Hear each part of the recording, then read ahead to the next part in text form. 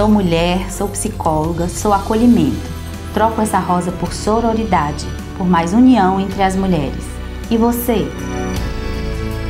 Eu sou Fabi Lucas e eu troco essa rosa por respeito, porque as diferenças, elas têm que ser aceitas.